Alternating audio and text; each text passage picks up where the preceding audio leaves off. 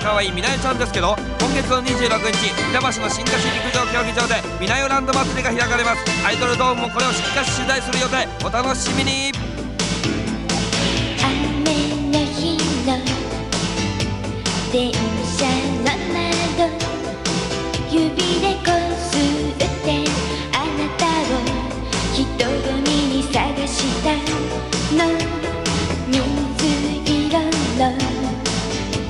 傘の横を片思いでもいいから歩きたくて。